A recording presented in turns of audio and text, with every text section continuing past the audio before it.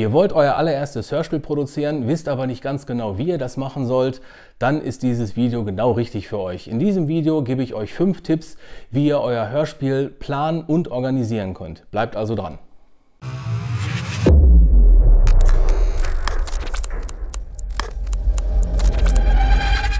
Glück auf und willkommen zu einem neuen Video. Ich bin der Daniel von Mein Ohrenkino und in diesem Video möchte ich euch ein bisschen was über die äh, Planung und Organisation von einer Hörspielproduktion erzählen. Äh, zu diesem Zweck habe ich äh, fünf Tipps für euch rausgearbeitet und die gucken wir uns jetzt einfach mal an.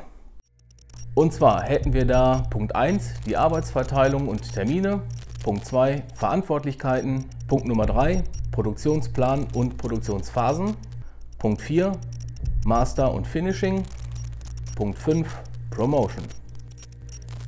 Mit diesem Video möchte ich mich in erster Linie an die Hobbyproduzenten unter euch richten.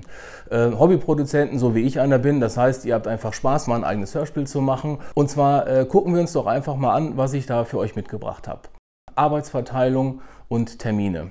Natürlich müsst ihr irgendwie euer äh, Projekt einfach mal anfangen und ähm, gehen wir einfach davon aus, ihr habt äh, ein Hörspielskript fertig und ihr habt sogar die Möglichkeit aufzunehmen. Dann fehlen euch natürlich jetzt die Sprecher. Das heißt, eure erste Aufgabe wäre es, ähm, ihr müsst ein Casting machen ähm, und äh, die Sprecherrollen verteilen. Für das Casting würde ich euch empfehlen, äh, so zwei bis drei Wochen einplanen ähm, und ihr müsst das natürlich auch so ein bisschen bekannt machen, dass ihr einfach äh, Leute erreicht über äh, soziale Medien, Facebook, Twitter oder was immer ihr auch nutzen möchtet. Sprecht da die Leute an, ob sie Lust hätten, bei eurem Projekt mitzumachen, ob sie eine, eine Sprecherrolle machen wollen und ganz wichtig, ob sie auch die Möglichkeit hätten, selber etwas aufzunehmen. Ähm, bei meinen Produktionen mache ich das so, wenn ich ein Casting aufrufe, dass ähm, sehr viele Sprecher bereits die Möglichkeit haben, selber aufzunehmen. Das heißt, sie nehmen zu Hause auf und schicken mir einfach die Takes. Die Alternative ist, man könnte auch bei mir aufnehmen. Ähm, dazu muss natürlich dann der Sprecher äh, hier hinkommen oder die Sprecherin. Das heißt, wenn ihr Aufnahmen bei euch zu Hause macht, müsst ihr das natürlich auch in eure Planung mit einbeziehen und Termine machen, wann wer äh, wie Zeit hat, um bei euch einzusprechen. Aber gehen wir erstmal davon aus, ihr macht ein Casting, wie gesagt, zwei bis drei Wochen, verteilt die Sprechrollen und ähm, schaut einfach mal, dass die Stimmen einfach äh, zu der Rolle auch passen. Was ihr natürlich auch nicht vergessen dürft, ist, ähm, dass ihr noch Leute braucht, die sich zum Beispiel um die Musik, um den Dialogschnitt oder die Vertonung ähm, kümmern müssen. Es gibt natürlich auch Leute, die machen alles zusammen, aber ähm, ihr habt natürlich auch die Möglichkeit, Leute zu finden, die jeden einzelnen Posten besetzen. Das könnt ihr entscheiden äh, oder auch, wie ihr gerade die Leute findet.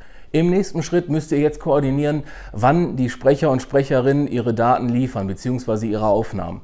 Ähm, ich hatte ja gerade angesprochen, ihr habt die Möglichkeit, dass euch äh, die Takes von den Sprechern und Sprecherinnen einfach angeliefert werden ähm, und es gibt die Möglichkeit, dass ihr selber aufnehmt. Da müsst ihr einfach einen Termin finden oder einen Zeitraum festlegen, wann, äh, äh, also in welchem Zeitraum die Sprecher und Sprecherinnen alles abliefern müssen. Ich würde aus meiner Erfahrung sagen, mindestens vier Wochen, aber auch nicht länger als sechs Wochen. Also in diesem Zeitraum sollten ungefähr alle Sprecher äh, alle ihre Takes ähm, äh, zu euch geschickt haben.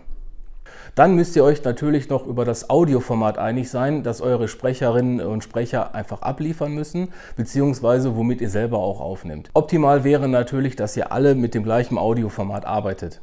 Ich persönlich würde euch das Wave-Format empfehlen mit 16 Bit und 48 Kilohertz. Ähm, das ist auf jeden Fall so in der, äh, ich sage, in der Hörspielszene, sage ich mal, so Standard und von der Qualität auch wirklich äh, absolut ausreichend. 44,1 würde natürlich auch gehen, aber mit 48 wäre es noch ein bisschen besser, weil ihr in der Nachbearbeitung einfach noch ein, so ein Quäntchen mehr Möglichkeiten habt. Kommen wir zu Punkt 2 auf der Tagesliste, die Verantwortlichkeit.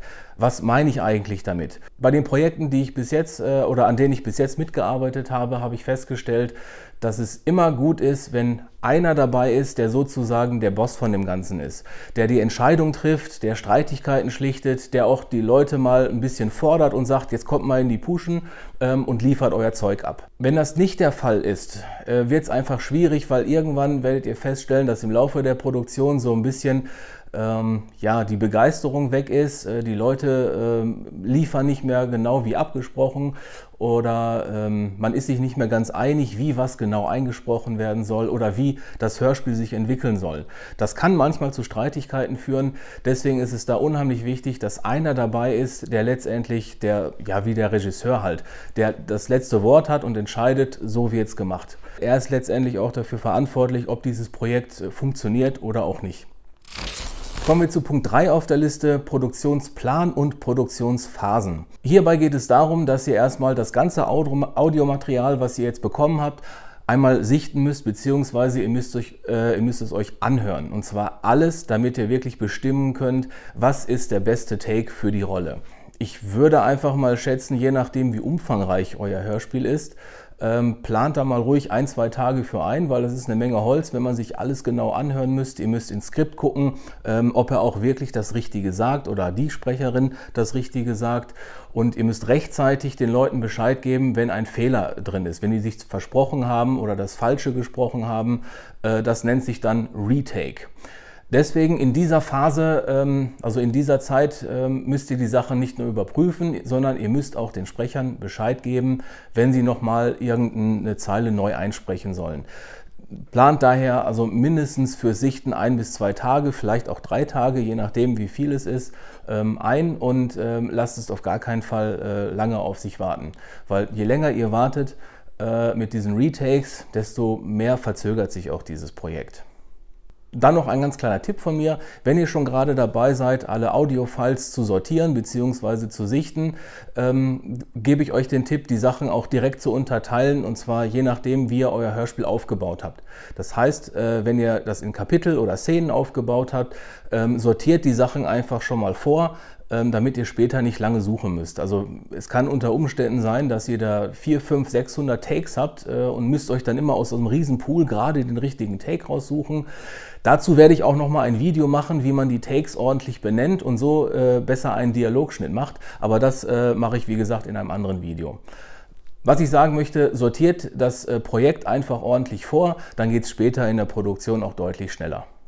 Meine Mein-Ohren-Kinoproduktion unterteile ich in der Regel in vier Phasen. Das ist einmal der Dialogschnitt, die Vertonung, ähm, die Musik und das Mastering. Zum Dialogschnitt würde ich zum Beispiel auch ähm, das Vorsortieren der Audiofiles und so weiter zählen. Dann natürlich ganz klassisch der reine Dialogschnitt. Das heißt, die äh, Sprecher-Takes werde ich so aneinander rein, dass daraus ein ordentlicher Dialog entsteht. Und ähm, dann kommt erst die Vertonung. Also äh, ich kann euch auch nicht empfehlen, alles auf einmal zu machen, weil es ist wirklich kompliziert.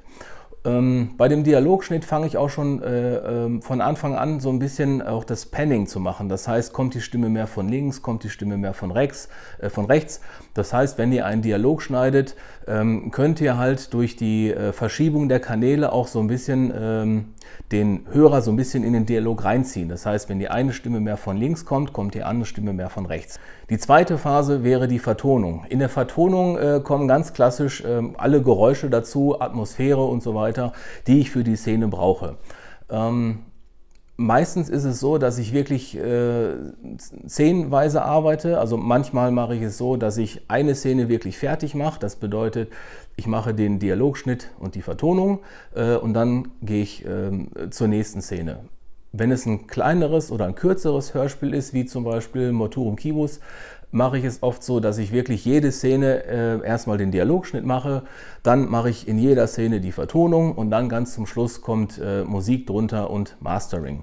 Das ist immer so ein bisschen so ein Bauchgefühl, äh, das, da möchte ich jetzt keine Regel für einfach aufstellen, weil es kommt auch immer darauf an, wie das äh, Hörspiel aufgebaut ist oder wie ich es geschrieben habe. Phase 3 wäre Musik. Äh, bei meinen äh, Hörspielen ist es meistens so, dass ich den Soundtrack dazu selber komponiere und das mache ich meistens wirklich erst zum Schluss, weil äh, wenn ich den Dialogschnitt mache und die Vertonung, da habe ich da einfach keine Zeit zu. Deswegen kommt das immer erst am Schluss. Es ist selten, dass ich eben äh, Musik aus anderen Hörspielen übernehme, von, die ich mal komponiert habe. Also ich versuche eigentlich immer zu meinen Hörspielen auch immer einen eigenen Soundtrack zu machen. Ist nicht ganz einfach äh, und ich würde mich freuen, wenn ich da irgendwann auch mal Unterstützung bekomme. Das heißt, äh, wenn ihr zum Beispiel auch ähm, Bock hättet, mal so einen äh, Hörspiel-Score zu ähm, erstellen oder zu komponieren, schreibt mir das einfach mal in die Kommentare und ich melde mich einfach bei euch. Da würde ich mich sehr drüber freuen. Phase 4 wäre dann auch schon das Mastering. Ähm, da möchte ich euch jetzt nicht groß erklären, wie man Master erstellt, sondern einfach nur, das ist da das Finishing eines Hörspiels. Und das kann ich natürlich erst machen, wenn der Dialog steht, äh, wenn die Vertonung stimmt, wenn die Musik abgemischt ist und äh, wenn ich alles noch einmal gecheckt habe, äh, ob alles wirklich so klingt, wie ich mir das vorstelle. Dann kommt das Mastering, das heißt, ich werde das Ding nochmal exportieren und ähm, dann für den Download und so weiter vorbereiten. Die Frage ist natürlich jetzt von euch, wie lange dauert denn sowas? Das ist schwer zu beantworten. Äh, jeder hat da sein eigenes Tempo, jeder hat da auch seine eigene Zeitvorgabe. Aus meiner Erfahrung hätte ich gesagt, äh, plant mindestens zwei Monate Produktionszeit ein, vielleicht sogar ein bisschen länger, gerade wenn es euer erstes Hörspiel ist. Ähm, nehmt euch einfach die Zeit, probiert Sachen aus und klammert euch nicht zu sehr an so einem Zeitplan. Ähm, aber äh, so ein bisschen Struktur in so einer Produktion ist schon ganz sinnvoll, einfach damit ihr wirklich konsequent an irgendetwas arbeiten könnt und immer zielgerichtet, äh, weil ihr wollt ja wirklich ein fertiges Hörspiel haben. Also meiner Schätzung nach hätte ich gesagt, plant wirklich äh, für die reine Hörspielproduktion zwei bis drei Monate ungefähr ein. Vielleicht geht es auch schneller. Kommen wir zum Punkt 4, Master und Finishing. Damit ist nicht wirklich äh, das Exportieren, wie ich es gerade erklärt habe, gemeint, sondern ähm, da geht es eigentlich darum, was macht ihr jetzt mit der Datei oder mit dem Hörspiel, was ihr gerade fertiggestellt habt. Ich mache es bei meinen Hörspielen so, dass ich äh, das Hörspiel als MP3 zum Download anbiete. Das hat einfach so ein bisschen Platzgründe ähm, oder beziehungsweise Datengründe. Ähm, und dieses MP3 ähm, versehe ich noch zum Beispiel mit Metadaten. Das bedeutet, ich füge einen Titel hinzu, ich benenne, wie das Album heißt. Bei Motorum Kios äh, sind wir ja schon in der Episode 4. Da macht es halt Sinn, dass man die MP3s auch ordentlich benennt. Äh, für den Download habe ich dann noch mal eine extra Datei vorbereitet. Das ist so ein, einfach ein äh, Word-File bzw. einfach ein Text-File. Da steht noch mal so ein bisschen was über die Produktion drin, über den Inhalt drin. Da stehen noch mal die Sprecher aufgelistet äh, und das äh, ladet ihr euch automatisch mit dem Download mit runter. Das hat den Vorteil, wenn jemand äh, mal eine Rezension schreiben möchte, dann hat er sofort alle wichtigen Infos, sage ich mal, auch nochmal äh, als, als Text vorliegen. Und das sind alles so die Kleinigkeiten, die ich dann in der letzten Phase mache. Natürlich muss auch noch ein Cover entworfen werden, aber für das Cover muss ich ehrlich sagen, da habe ich jetzt keine richtige Phase oder so, sondern das Cover entsteht eigentlich während der Produktion. Ähm, da habe ich keine feste Termine, wann ich das machen muss. Als Tipp würde ich euch empfehlen, fangt mit dem Cover relativ zeitig an, weil das könnt ihr ganz gut gebrauchen, äh, wenn ihr das Hörspiel zum Beispiel bekannt machen wollt, beziehungsweise wenn ihr äh, es promoten wollt. Und da kommen wir auch schon zu Punkt 5, äh, die Promotion. Mit der Promotion könnt ihr theoretisch schon anfangen, bevor ihr mit der Produktion anfangt. Also eigentlich, wenn ihr mit dem Casting beginnt, könnt ihr auch schon mit der Promo loslegen. Das muss nichts Aufwendiges sein, aber wenn ihr zum Beispiel auf Facebook oder Twitter schon vertreten seid, dann äh, würde ich euch empfehlen, macht so eine Art Produktionstagebuch. Fotografiert euch, wie ihr gerade irgendwas aufnehmt, wie ihr vielleicht eigene Geräusche aufnehmt, ähm, wie die Sprecher aufnehmen und in regelmäßigen Abständen berichtet ihr einfach über die Produktion. Das ähm, macht die Leute einfach aufmerksam auf euer Projekt. Niemand kennt euch, und ihr fangt theoretisch bei Null an und es ist gar nicht so einfach, über den eigenen Freundeskreis hinauszukommen. Das heißt, fangt also frühzeitig mit der Promo an, schreibt auch etwas über die Hintergründe. Ähm, vielleicht möchtet ihr auch eine eigene Homepage machen, wo ihr später dann auch euer Hörspiel äh, veröffentlichen könnt. Das ist eigentlich von Vorteil, weil ihr könnt sozusagen eine Homepage bewerben, wo die Leute sich dann äh, euer Hörspiel runterladen können. So mache ich es bei Mein Ohrenkino ja auch. Ein weiterer Punkt in der Promotion ist natürlich ähm, die eigene Community aufbauen. Ähm, damit meine ich, dass ihr wirklich abgesehen von eurem Freundeskreis ähm, noch eure äh, Fangemeinde erweitern müsst, damit möglichst viele von eurem Hörspiel erfahren. Dazu bietet sich natürlich äh, Facebook, Twitter und so weiter an. Da werdet ihr, also wenn ihr da schon unterwegs seid, habt ihr da vielleicht auch schon so ein, ja, eine, eine Community. Ähm, vielleicht seid ihr auch in irgendwelchen Hörspielgruppen, wo ihr einfach dieses Projekt vorstellen könnt. Ihr könnt auch gerne in die äh, Mein Ohren Kino Community auf Facebook äh, ähm, beitreten. Da könnt ihr zum Beispiel auch eure eigenen Projekte vorstellen und ähm, könnt auch so ein bisschen was darüber erzählen. Würde ich mich auch äh, sehr darüber freuen. Selbstverständlich bietet sich auch an, ähm, dass ihr Produktionstagebücher per Video macht, indem ihr euch einfach einen eigenen YouTube-Kanal ähm, äh, erstellt und da eure Videos präsentiert und vielleicht auch ähm, das Hörspiel natürlich. Das mache ich hier natürlich auch nicht anders. Das war es auch schon mit der kleinen Workshop-Reihe Hörspielproduktion, Planung und Organisieren. Ähm, ich hoffe, es hat euch gefallen. Ich konnte euch vielleicht auch so ein bisschen was Neues erzählen. Vielleicht konnte ich euch auch die Angst nehmen, endlich mal eine eigene Hörspielproduktion anzufangen. Und äh, falls ihr das schon getan habt, äh, könnt ihr das natürlich auch gerne hier in die Kommentare schreiben, äh, euer Projekt vorstellen. Äh, würde ich mich echt sehr darüber freuen. Ähm, natürlich könnt ihr auch Fragen stellen, wenn ihr noch nicht äh, genau alles verstanden habt oder wenn ihr noch konkret etwas wissen wollt. Auch einfach in die Kommentare schreiben, beantworte ich euch sehr gerne. Dann bleibt mir noch zu sagen, abonniert meinen Kanal. Wenn ihr die anderen Workshop-Videos auch noch gerne sehen wollt und keins verpassen wollt, einfach die äh, Glocke anklicken und meinen Kanal abonnieren, dann verpasst ihr auch kein Video.